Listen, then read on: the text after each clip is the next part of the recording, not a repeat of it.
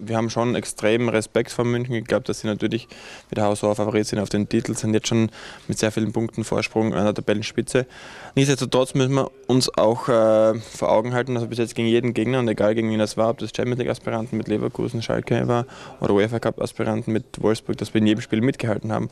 Dass wir in jedem Spiel durchaus die Chance hatten, so ein Spiel auch zu gewinnen.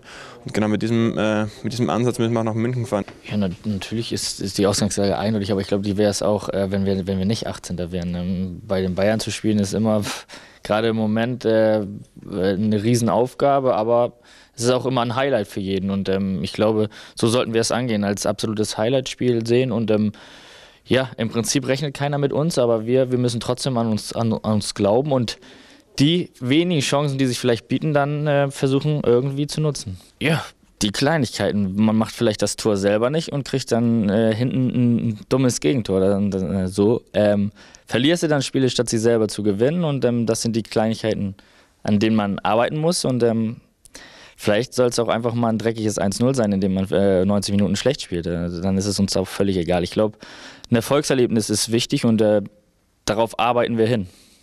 Ja, es sind zu viele Gegentore, ohne Frage. Äh, es gibt schon einen Grund, warum wir da unten drin stehen, dass wir auch natürlich zu viele Tore bekommen haben.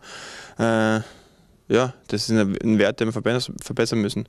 Prima zählt aber jetzt die Punkte. Und es äh, ist egal, wie viele Gegner wir dabei fangen, wenn da drei Punkte dabei rausspringen. Ich denke, wer die Spiele gesehen hat, ähm, natürlich nicht immer über 90 Minuten leider, aber ich denke, der hat gesehen, dass wir phasenweise wirklich keinen schlechten Fußball gespielt haben. Es ist nur der Erfolg äh, ist bisher ausgeblieben und den müssen wir uns ähm, weiter erarbeiten. Und ähm, wie gesagt, weiter an uns glauben. Und ähm, das ist, denke ich, auch das A und O, dass wir jetzt nicht sagen, ähm, wir, wir haben es verlernt, wir können es nicht, sondern wir glauben weiter daran und dann müssen wir einfach nur mal dieses Erfolgserlebnis haben.